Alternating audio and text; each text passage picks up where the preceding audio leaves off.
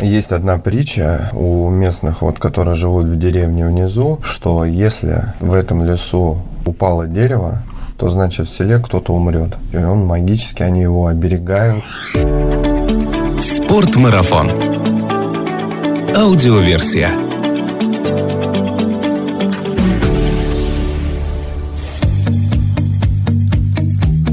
Здравствуйте, друзья! Это Артур Ахметов и «Спортмарафон», аудиоверсия подкаста об активном отдыхе, путешествиях, снаряжении для приключений и обо всем, что с этим связано. Если я вам начну описывать какое-либо место словами «обильные снегопады», «разнообразный рельеф», «много снега и внетрассового катания», то вы вряд ли догадаетесь, о каком курорте идет речь. Но как только я добавлю к этому списку вино, хинкали, хачапури, лоби, абхали, то, конечно, сразу понятно, что речь идет о Грузии. И, конечно, еда – это неотъемлемая часть путешествия в эту страну, но сегодня мы все-таки настроены поговорить о горнолыжных курортах Грузии в целом и о фрирайде в этой стране в частности. У меня в гостях гиды компании Snow Lab Georgia Рустам Ибрагимов и Тася Алехина. Привет, ребята! Привет! Привет, Артур. У меня к вам вопрос первый. У вас вроде не грузинские имена. Как вы вообще оказались в Грузии?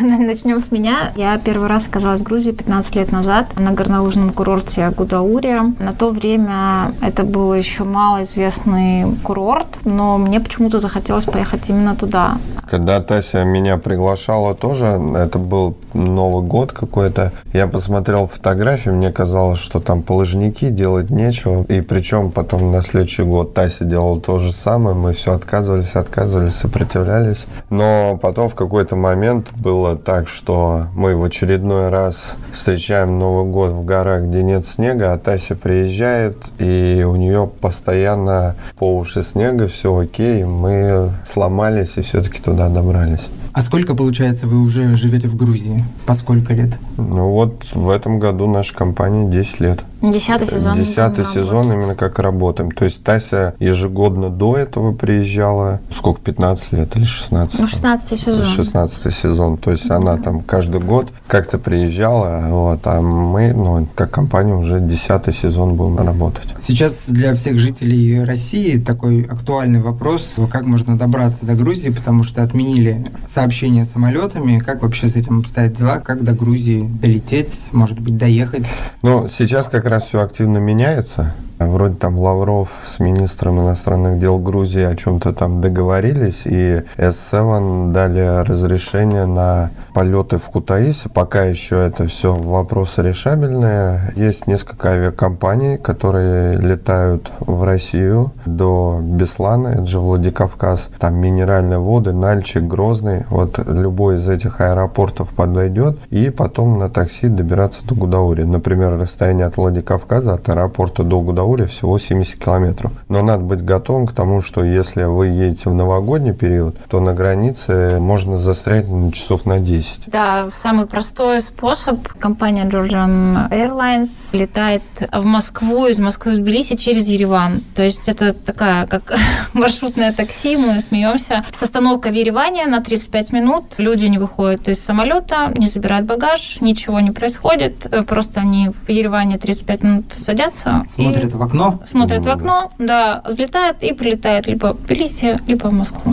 А, это пока что самый удобный вариант. Ну и есть еще один вариант, это наши друзья белорусы через Белавия, через Минск спокойно летают, все окей. Можно еще через Стамбул, да. Ну, то есть есть проблемы добраться до Грузии нет. Любой аэропорт, Батуми, Кутаиси, Тбилиси с пересадкой, либо же прилетаешь в там, Владикавказ, берешь трансфер, пересекаешь наземную границу, либо в Ереван можно прилететь, также в Ереван и пересечь границу на машине, ну или там на трансфере. То есть проблем нет. Самое удобное на данный момент, это вот то, что Тася рассказала, это Москва, Ереван, Тбилиси и в Ереване 35 минут. Это по таймингу самый быстрый перелет получается. Вы сами как добрались в этот раз до Москвы? Ну, мы по-разному. Мы, во-первых, с Украины ехали, это отдельная история, поэтому... Да. Да. Это тоже там сложные. Поэтому, ну, я доехал на автобусе, потому что это там мне удобнее всего. Это недалеко от Киева, где я был, находится автовокзал, и приезжать почти под дом здесь, где я живу, и все. Ну ладно, давайте вернемся в Грузию из Москвы. Для многих путешественников Грузия все-таки представляется такой солнечной страной, в которой все-таки солнце, море, солнечные горы летние. А мы сегодня поговорим про снег. Вообще, что собой представляет зимняя Грузия, да, где там можно найти снег и что там вообще с зимними горами? Ну, Грузия это горная страна, ни для кого это не секрет. И, ну, собственно, очень много горнолыжных курортов в Грузии. То 80% есть... территории это горы, на самом деле, в Грузии? В Грузии любой человек, даже который не умеет кататься либо на лыжах, либо на сноуборде, или профессионал, найдет те э, горнолыжные курорты, которые ему будут по душе. В Грузии, как я сказала, несколько горнолыжных курортов. Это Гадерди, сравнительно молодой курорт, Бакуриани, скажем так, самый... А, Бакуриани и Гудаури – это, в принципе, курорт, который работает с советских, советских времен. времен. Горнолыжные курорты вместе – это Хацвали и Титнульди, ну и наш любимый Гудаури. Это основные курорты. И прикольно, что Министерство развития туризма в Грузии продвигают горнолыжку, и это все курорты, это государственные учреждения, и покупая скипас на один курорт, он работает и на другом тоже. То есть можно там за там, 10 дней, грубо говоря, покататься там на двух, на трех горнолыжных курортах, если есть такое желание. А насколько вообще компактно и близко друг к другу находятся все эти курорты? Это а, Физически, ну, Грузия, в принципе, страна маленькая, но надо понимать, что, например, такие курорты, как Гаде, Дердзе и таких курортов, как в Сванете, Хацвале и Титнульде, это закладывает часов 10 просто транспортировки. То есть пока что Грузия решает этот вопрос там с туннелями, еще с дорогами. Они планируют это все построить, чтобы было более удобно, но есть проблема вот именно с этими двумя курортами. В Бакуряне и в Гудауре доехать достаточно просто, хорошие дороги, что со стороны России в Гудауре, что со стороны Тбилиси. Это самое комфортное. То есть вот от Белиси до э, Гудаури, в принципе, ближе всего. И это на данный момент самый большой, самый развитый курорт в Грузии. Вот вы сказали про курорт, которые еще с 80-х годов СССР работают, а есть ли какие-то новые курорты, которые открылись недавно? Ну вот, Гадердзе. Гадердзе и Титнульди. Да. Это новый. Это новый. Новый, да. То есть Титнульди как курорт, по-моему, года три всего или четыре. Да, да, несколько. Гадердзе чуть-чуть на год больше. Ну, то есть это молодой курорт. Но если есть вот курорты уже раскрученные, которые много лет со своей историей, и открываются новые курорты, говорит ли это о том, что Грузия, в принципе, в качестве горнолыжного курорта привлекательная страна. Да. Конечно, конечно, конечно. Растет, да. Э, и прикольно, что если раньше большинство туристов были это Россия, Украина, Беларусь, русскоязычные и казахи еще, то сейчас, конечно, больше становится Восточной Европы, больше Центральной Европы. То есть там можно поляков, литовцев, чехов, французов, немцев встретить, американцев. География становится широкой. Каждый год наблюдается прирост туристов. Сколько длится горнолыжный сезон в Грузии? С конца ноября по середину мая. Подъемники работают, ну вот Гадердзе, по-моему, первый открывается, он, по-моему, 5 декабря открывается. А закрывается, ну вот в прошлом году в Удауре 15 апреля закрылся. Хотя могли бы и дольше висеть, но апрель такое время, когда люди уже хотят лета жесткие фанаты сноубординга и лыж катаются в этот период. Но если мы говорим о начале сезона для скитурщиков и окончания, то есть когда можно начинать скитурить и заканчивать, то о времени конец ноября и середина мая. Даже конец мая, наверное. Ну да, в этом году да. мы скитурили, скитурили на Казбек в середине июня, и все было хорошо со снегом. Ну, это уже для таких как бы это продвинутых, продвинутых райдеров, да. А чем вообще можно вот катание в Грузии выделить от катания в других странах? Есть какие-то особенности, которые только в горах Грузии можно найти? Ну, наверное, все-таки остатки советского прошлого, оно еще до сих пор пока присутствует, но при этом видно, что Грузия четко направлена на Европу, вот, то есть они хотят вот стремиться mm-hmm. вот к этому сервису, и это вот что-то такое, коллаборация. Мне кажется, что меня привлекло в Грузии, хотя до Грузии я каталась много где, на разных курортах по всему миру. Это были горы Южной, Северной Америки, Европа, Камчатка. Но почему я остановилась на Гудауре? Потому что главная ценность Грузии и горнолыжных курортов в том числе, это все-таки грузинский колорит. Он присутствует абсолютно во всем. То есть не исключая ни один аспект жизни Грузии. То есть это грузинский колорит, это, собственно, грузинское гостеприимство. Ну и там действительно Грузии еще очень повезло с природой. Там просто невероятно красивые просторы и очень интересный рельеф для катания. Поэтому коллаборация очень хорошая получается.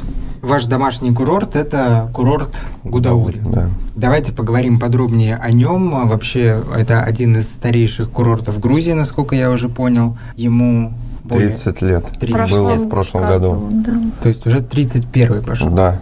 Чем знаменит этот курорт, его особенности, можете рассказать? Он очень интересно расположен. Гудаури это как бы плато. Особенность его заключается в большом количестве снегопадов.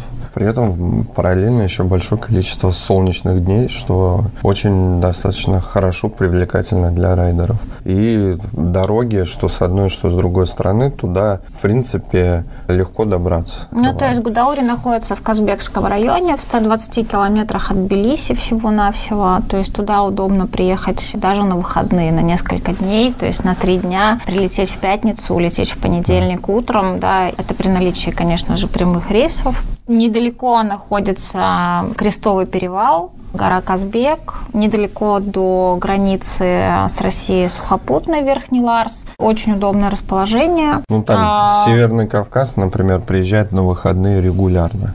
То есть там, если хорошая погода, хороший снег, просто ребята приезжают на выходные покататься потому что это им близко и удобно. Ну и потом, честно говоря, вот я бы назвала все-таки Гудаури это мекой фрирайда, потому что приехав в Гудаури, можно как начинающему фрирайдеру, так и продвинутым райдерам найти, что делать будет интересно. То есть Каждый день будет другой и э, в разных зонах э, катания. То есть есть и лесное катание для скитурщиков, вот, и катание с подъемников по целине в разные ущелья. Это ну, очень интересно. Да, мы-то там уже 10 лет катаем, и вот Тася еще больше.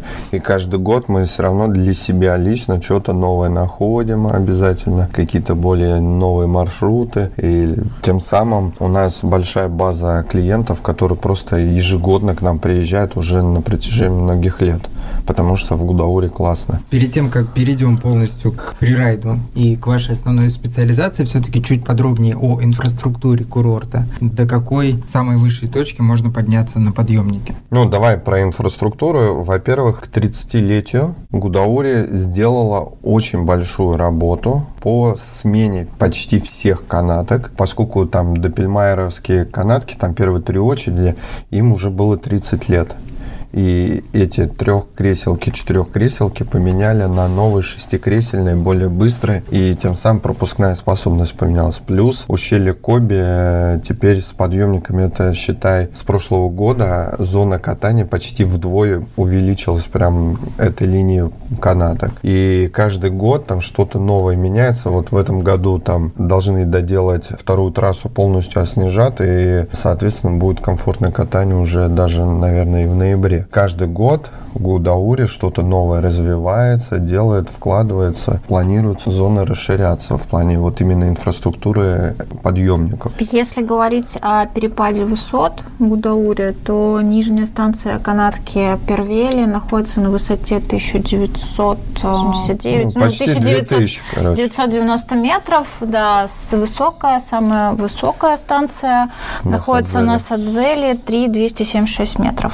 Ну, то есть такой внушительный достаточно перепад, плюс наличие огромного количества подъемников, более 50 километров трасс, горнолыжных, отсутствие очередей. Даже... Очереди бывают только на выходных Э, новогодние праздники. Новогодние праздники, но они как-то не очень сильно ощущаются, а... потому что поменяли в прошлом году медленные подъемники, поставили вместо трехместных, поставили шестиместные, они стали более быстрые, современные, то есть наличие четырех гондольных канаток, то же самое, то есть сделали свое дело, то есть в принципе увеличили площадь катания. С этой точки зрения очень комфортно. Ну, то есть там очереди могут в пиковое время, это только утреннее, когда вот все только выходят на гору. Потом, как правило, люди все рассасываются в зону, потому что площади большие, и дальше уже таких очередей прям вот нету. Также про инфраструктуру, если говорить, то достаточно много сейчас новых отелей, апартаментов. Там, если выделить из зон, где можно проживать, Гудаури это, собственно говоря, поселок, который вдоль военно-грузинской дороги и с перепадом почти 250 метров. И есть верхняя Гудаури, это зона там свыше 200 метров, где люди живут. Оттуда тоже есть уже подъемники. Логистику вот в этом плане курорт очень хорошо продуман. Есть центральной Гудауре, которая, собственно, оттуда все начиналось, развитие курорта, где много отелей, много апартаментов и так далее. И вот сейчас, за последние там 7 лет, построили новый Гудауре. Это мощный райончик такой, который в одном стиле все строится, и там мощная тоже инфраструктура. Сейчас, в принципе, проблем уже, что делать после катания, нет, поскольку там много кафешек, ресторанов, спортзалы уже есть, бассейны, спа всякие, истории. Казино в прошлом году открылось. Ну, есть что делать э, в Гудауре, поэтому очень комфортно приезжать с семьей. Очень часто, допустим, там муж, жена и дети приезжают. Муж едет с нами кататься, дети с инструкторами, жена там идет в спа там или с инструкторами катается. То есть вот такая тема, и всем хорошо. Возвращаемся из увеселительных заведений на склон. А трассы в Гудауре преимущественно какие?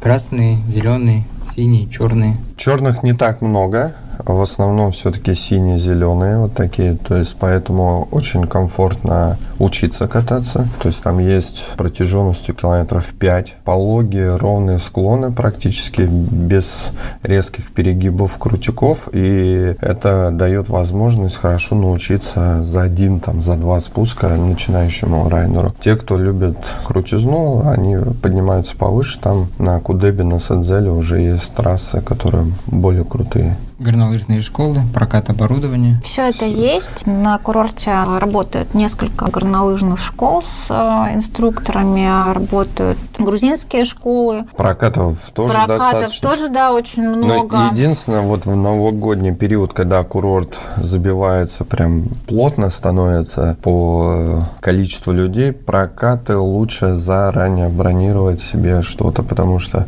можно прийти в прокат, а он просто пустой. Хорошо, покатались мы, значит, по размеченным трассам, все, устали по ним кататься, давайте пойдем во фрирайд. Рассказывайте, почему Гудаури называют мекой фрирайда. Потому что в Гудауре не нужно за фрирайдом далеко ходить, то есть достаточно съехать на один метр от трассы, и это будет уже фрирайд. Очень хорошо в Гудауре начинать учиться фрирайдить, а, потому что очень комфортные условия для этого. Можно выехать или выйти на трассу, если ты там где-то встрял. И очень большая обширная зона для фрирайдеров, которые уже умеют кататься, вот, с различными спусками различной сложности.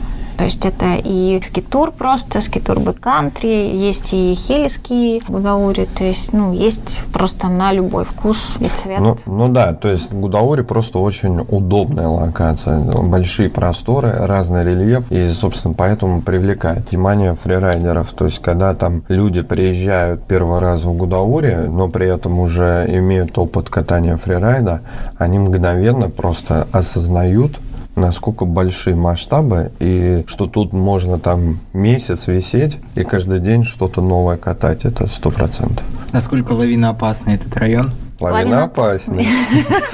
Без вопросов. Это, ну... Как сказал бы Макс Панков, если есть снег и человек, то сразу лавина опасна. Я так и хотела, да, сейчас прокомментировать Макса Панкова, и это не только его фраза, и вообще всех катающихся людей, мыслящих. Вот. То есть, да, курорт Гудаури лавина опасна. Правило, мы с клиентами выходим только с наличием бипера. Мы это все проверяем, и если у человека нету, мы его просто выдаем. Во вообще все, кто занимается фрирайдерами, бипер, щуп, лопата и желательно уже и рюкзак, это просто снаряжение, которое должно быть. Если вы цените свою жизнь, то оно просто, ну, это must have. Непосредственно это снаряжение можно взять в прокат? Да, да, все есть в Гудауре. Э, в прокатах это есть. Да. Есть рюкзаки АБС, можно взять э, и биперы, и щупы, и лопаты. Все есть, да. Можно взять гида в прокат. Да. Ну, то есть, если вы приехали в Гудауре э, первый раз, то ну, там настоятельно рекомендуем брать гидов, потому что и бывают снежные обстановки очень непростые, когда может там сходить все на свете. Поэтому надо четко это отстреливать, ну, как в любом регионе бывают периоды, когда действительно опасно. А вообще рельеф для фрирайда в Гудауре что собой представляет? Как я уже говорила, для начинающих фрирайдеров пологие склоны, на которые можно комфортно выходить не раз. Э, также есть и крутые склоны, скажем так, для профессионалов, которые уже умеют кататься, да, и ищут каких-то там острых ощущений. Но сам курорт Гудаури находится в альпийской зоне, а, без леса. И принято считать, что в Гудауре леса нет.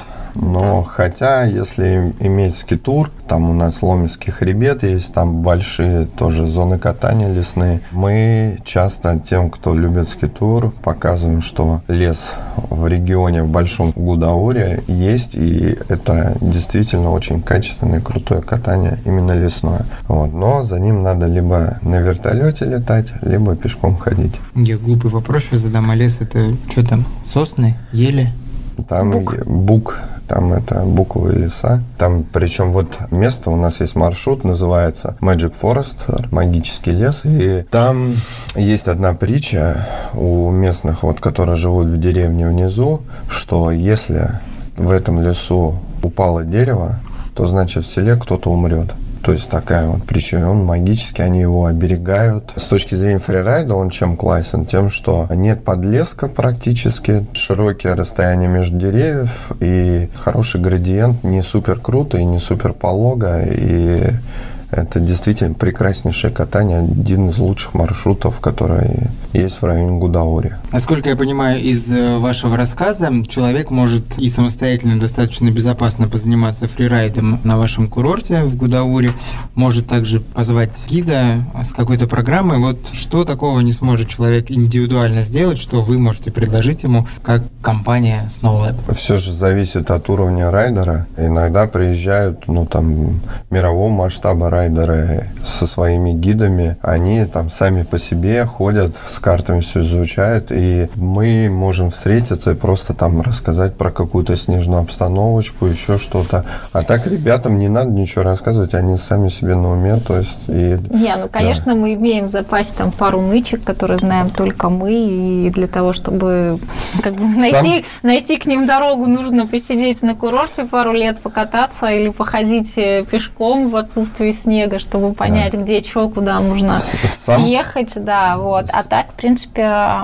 Самая актуальная помощь, которую мы можем предложить, когда со снегом все хорошо, рядом везде, там с трассами, там сям, везде все хорошо. Когда уже там прошло неделю после снегопада, нового снега нету, за хорошим снегом надо ходить. И вот здесь локалы всегда вытягивают эту тему, потому что мы уже работаем там давно, мы знаем, допустим, вчера дул такой-то ветер, его перекинуло туда, или здесь, например, ветров не бывает, надо идти туда и так далее, или там сегодня холодно, значит, надо спуститься пониже, или на наоборот. А здесь уже чисто практические знания. Но, в принципе, это касается не только курорта Гудаури, это везде, куда вы не приедете. Местный райдер, который работает гидом там уже давно на именно этом курорте, он точно будет знать больше, чем любой гид, который приехал. По причине того, что он просто тут уже давно.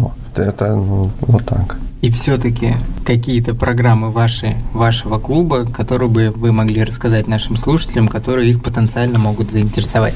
Ну, мы работаем, а, если говорить вообще о сезоне, с начала сезона до конца, работаем основную часть, конечно же, в Гудауре, но открываем сезон, мы вот уже второй сезон в курорт, называется Бахмаро. Ну, как скажем так, это не совсем регион. курорт, да, это регион. Бахмаро – это дикое место с не очень развитой инфраструктурой. Вот, там такой, как я его называю, дикий скитур. но отличное место для скитуристов любого уровня, то есть начинающие, продвинутые, вот, могут участвовать в этих программах. Прелесть этого региона в том, что как я уже сказала, это дикий регион, то есть катаетесь только вы и ваша компания. Там нет баров, ресторанов, казино, все, все то, что есть на других курортах. И, собственно, снег. Снег и рельеф там очень круто, там есть лес, и там есть и альпийская зона, и ну, все очень достаточно интересно. И стартует эта программа у нас а, с 1 декабря, неделю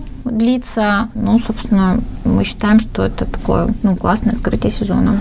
Да, если вы в Гудауре катаетесь, то вы там играете с другими командами, такими же, как вы, любителями фрирайдерами, кто быстрее где окажется, то там вот в Бахмаро программа, она, там ты точно знаешь, что ни с кем перегонки не надо, кроме вас никого нету, и это классно. Также вот у нас есть во второй половине января программа в регионе Рача, это уже большие горы, большие перепады, и там, конечно, требуем мы от райдеров уже большого опыта, то есть мы новичков туда не берем.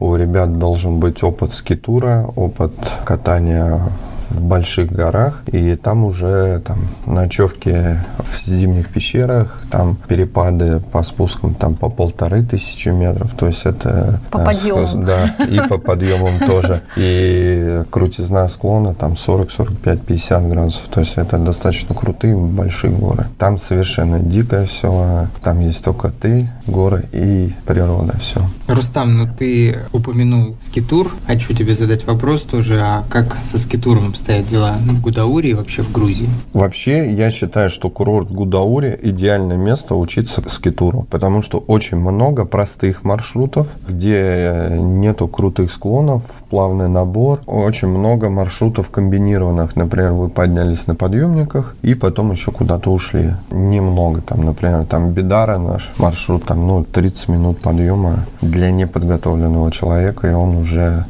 зоне, которая доступна только либо пешком, либо скитуром. Но да. если говорить вообще в целом о курортах в Грузии и скитуре, то очень много всего разнообразного для скитуристов. Сванети тот же самый. Конечно.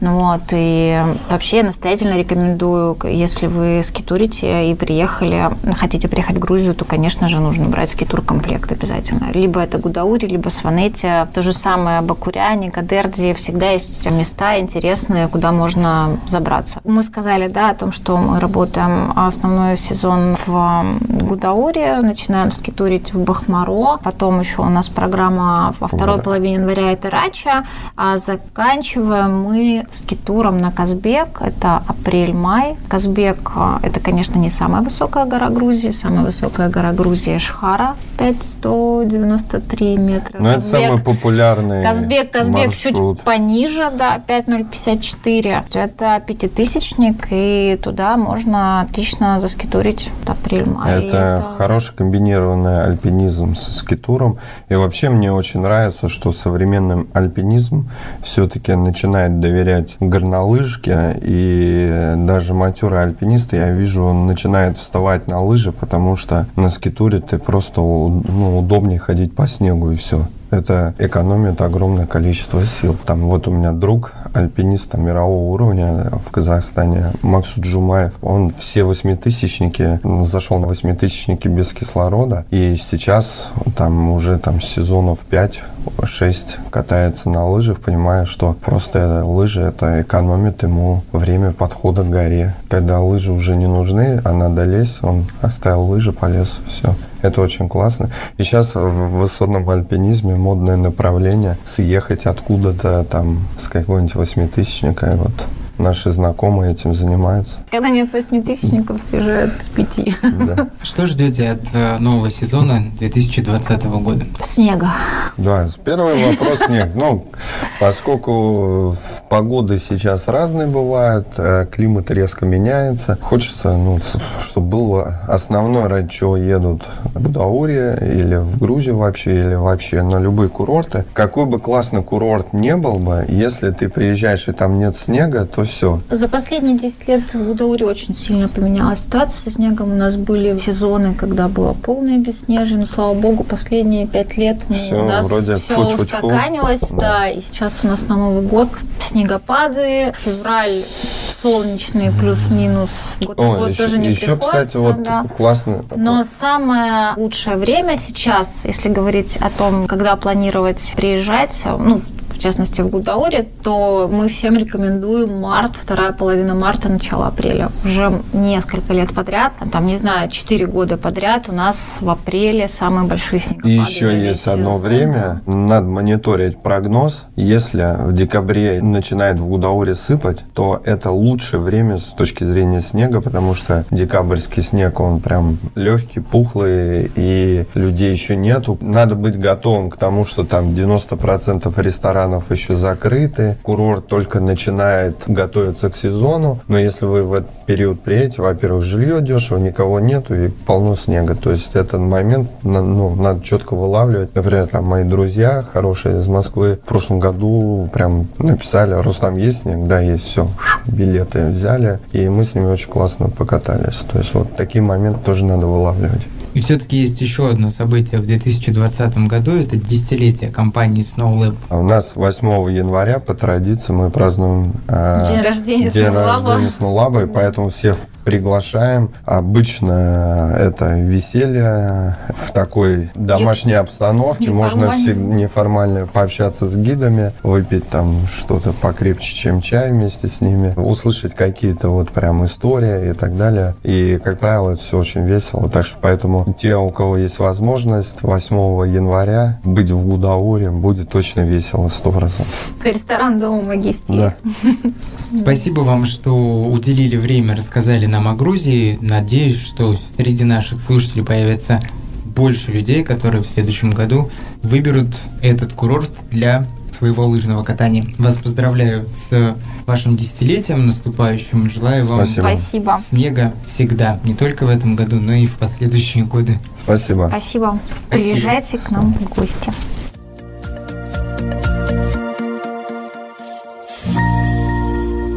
Спортмарафон. Аудиоверсия.